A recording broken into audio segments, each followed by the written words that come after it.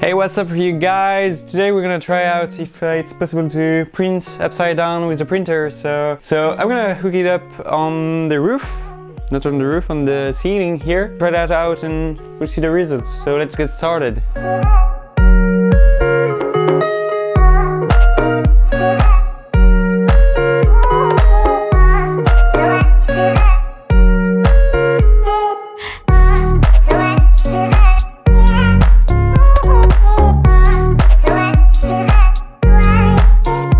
So yes, I've done it and I still don't know why, but it's funny, just for science, even though it's not science. I'm preheating the printer right now the bed and uh, that's, a, that's really useful because uh, I'm using the app uh, via my phone to control the printer. It's easier for me, uh, even though I have the LCD controller here.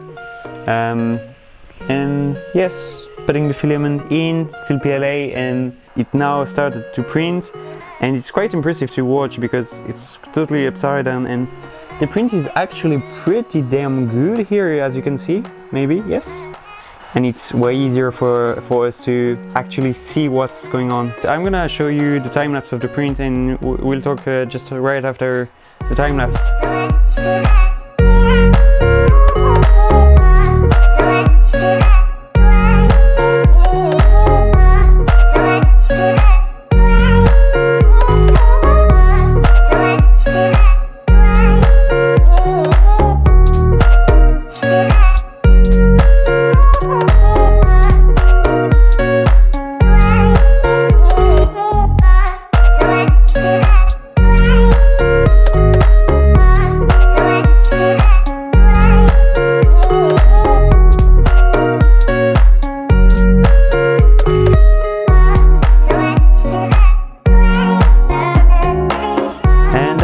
it. It's quite impressive to know that we can print upside down even though it's not uh, the best way to print and it's not uh, how you will get the best result on your print but yeah it's quite funny to, to just uh, have an experience like that. Let's see how, how it looks and that's not the best print I've done uh, by far and there's a little line because of uh, my filament failure because I had to remove and re-put the, the filaments in the printer just right here. So the top layer or the bottom layer, depending on how you see that, is pretty much uh, normal layer.